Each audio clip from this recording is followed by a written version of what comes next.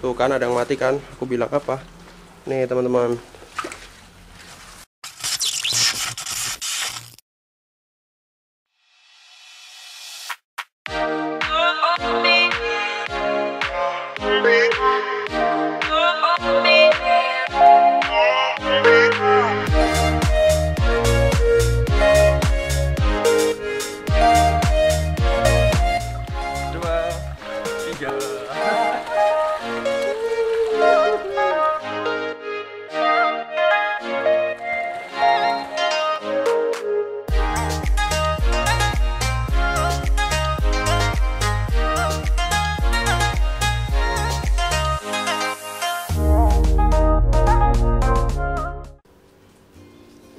siang-siang di Zilaland kita akan melihat baby iguana yang barusan kapan hari kita rilis di sini ada 60-an ekor yang untuk dibesarkan nantinya jadi indukan teman-teman. Situ tuh lagi pada berjemur. Santuy, kita akan masuk teman-teman. Oke, yuk.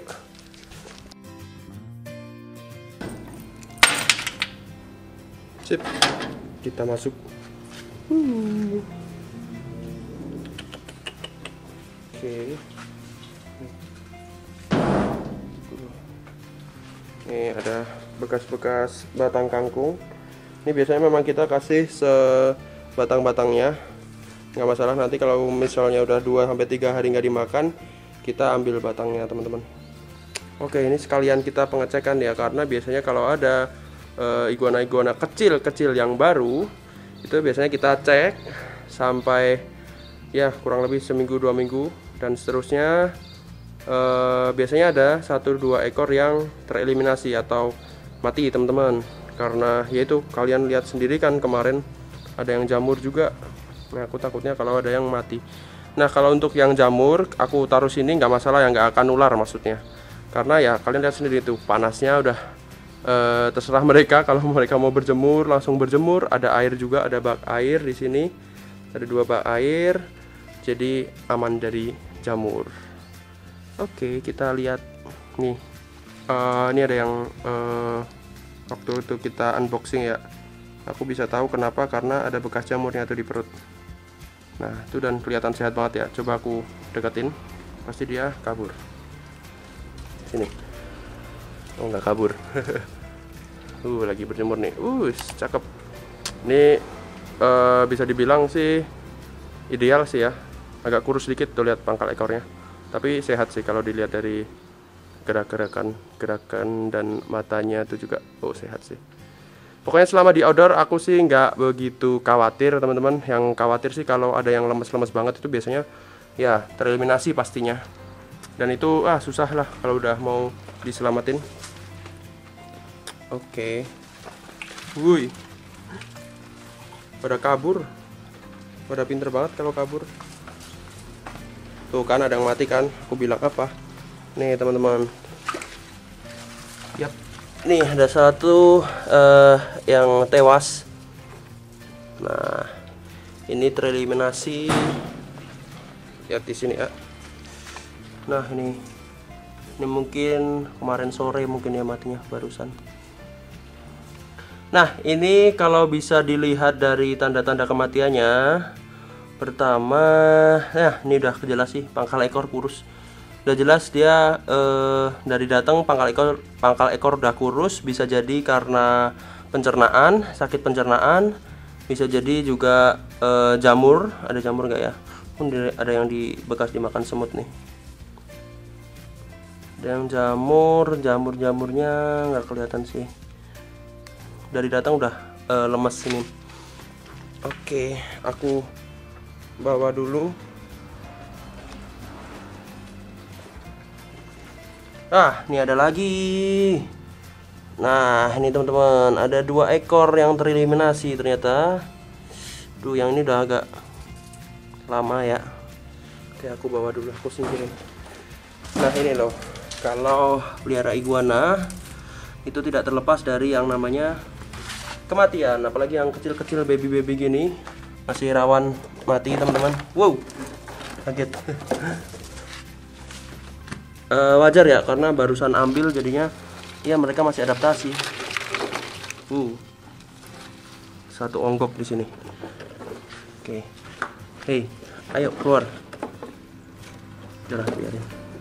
Ya ada yang mati. Cek lagi di sini. Si aman. Si aman udah nggak ada ya? Di balik sini biasanya banyak. Aman sih. Oke. Sini nih. Juga ada. Wow. Woi aman nih. Mantap. Pada sehat-sehat tuh. Tandanya mereka uh, apa lari-larian ke sana kemari lincah. Syukur-syukur gigit. Kalau gigit berarti tandanya uh, mereka sehat teman-teman. Oke jadi tadi ada dua ekor yang tereliminasi. Dari waktu kita ambil pertama itu 60-an ekor jadi sekarang kurang lebih 50-an 58-an ekor ya. Oke jadi ini dua ekor e, matinya ya yang ini jamur. Ini jamur parah nih bisa dilihat kan bekas jamur. Jadi waktu unpacking ini sempat terlihat juga jamur dan jamurnya udah parah banget sih. Jadi mustahil atau susah banget kalau untuk e, di treatment. Yang satunya ekor kurus pencernaan seperti biasa penyakit baby iguana.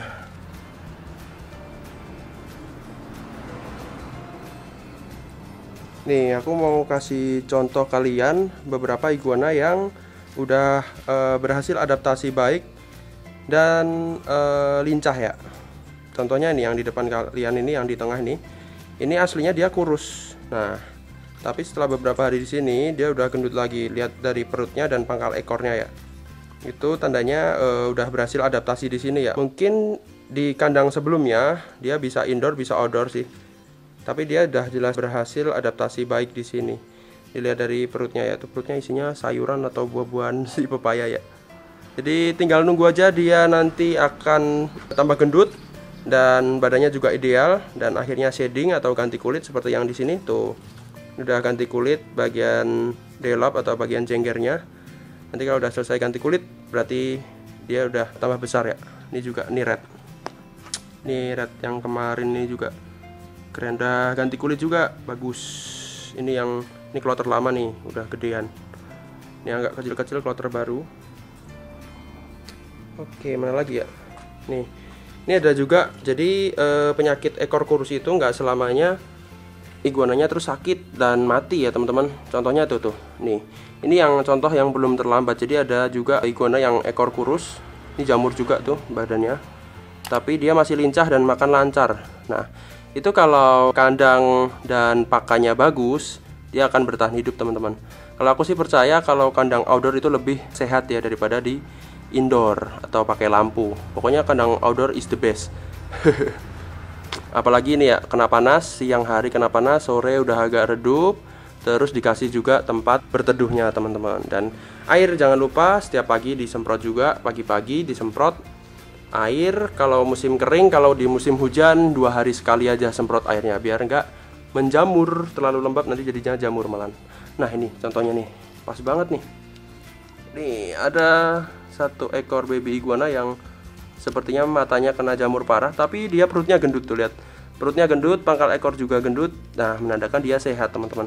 Dan ini tinggal proses healing aja. Uh, proses dia menyembuhkan diri sendiri. Jadi iguana punya kemampuan ya bisa dibilang. Dia bisa menyembuhin diri sendiri. Termasuk kalau ekornya putus dia bisa tumbuh. Terus bahkan jari yang putus tangan yang putus saja kalau dirawat dengan baik nanti dia akan tetap tetap hidup teman-teman tetap hidup dan nanti nggak akan tumbuh sih kalau kaki ya. Tetap hidup tapi kakinya buntung. Nah begitu. Jadi keren sih gua. Nah ini mudah-mudahan tuh di matanya ada jamur. Dia lagi berjemur juga biar ya dia secara alami menyembuhkan diri sendiri ya. Sip good. Coba aku ambil ya ke tes tes kelincahan. Sini. Oh gendut ini mah coba. Oh ya iya sih matanya kena jamur lumayan parah. Uh, tapi badannya gendut tuh. Ideal malah bagian pangkal ekor juga. Dah ini dia uh, biar berjemur saja di sini secara alami. Nih. Ya. Si pinter. Dan nanti akan sembuh sendiri uh, jadi gitu kita udah ngabsenin tadi. Ada dua ekor yang tereliminasi dan sementara yang lainnya masih pada sehat-sehat teman-teman. Uh, ya sih masih sehat-sehat. Ya moga-moga mereka di sini cepat besar karena kandangnya yang cukup luas. Jadi kurang lebih mungkin ya kurang lebih paling lambat setahun lagi mereka udah agak besar terus kita lepasin ke kandang umbaran teman-teman untuk nantinya dijadikan indukan. Jadi ini enggak kita uh, jual ya teman-teman. Ini untuk dibesarkan besoknya dan menunggu yang eh, telur-telur yang ada di tanah dan di inkubator di rumah juga. Mudah-mudahan uh, netes banyak juga ya. Oke terima kasih. Video kali ini gitu dulu. Terima kasih buat kalian yang udah nonton video ini sampai selesai. Jangan lupa di like subscribe dan komen untuk mendukung channel ini agar tetap berkembang. Kita akan ketemu lagi di video selanjutnya. Semoga menginspirasi kalian yang pelihara iguana atau reptil lainnya dadah